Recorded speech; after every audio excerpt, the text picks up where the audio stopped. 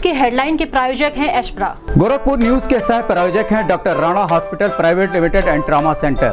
पूर्व प्रधानमंत्री स्वर्गीय चरण सिंह के जन्म दिवस पर आयोजित हुआ किसान मेला प्रदर्शनी और किसान सम्मान समारोह। सम्मानित हुए कृषि के क्षेत्र में उत्कृष्ट कार्य करने वाले किसान। जयंती पर समाजवादी पार्टी ने किया पूर्व प्रधानमंत्री चौधरी चरण सिंह को याद कहा किसानों के मसीहा थे चौधरी चरण सिंह। कॉन्वेंट स्कूल को मात दे रहा है प्राथमिक विद्यालय पिपरौली सेकंड। प्रधानाचार्य फरहान सरवर के प्रयासों ने बदल दी स्कूल की सूरत और सीरत। बीएसए ने भी की सराहना।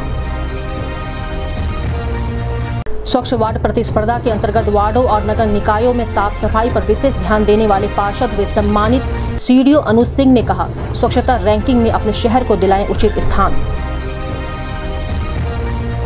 गोरखपुर विश्वविद्यालय के इतिहास विभाग के आचार्य प्रोफेसर हिमांशु चतुर्वेदी को भारतीय इतिहास अनुसंधान परिषद का सदस्य चुने जाने पर किया गया सम्मानित। गोरखपुर विश्वविद्यालय के दीक्षा भवन में पूर्वांचल कला सम्मान समारोह का हुआ आयोजन।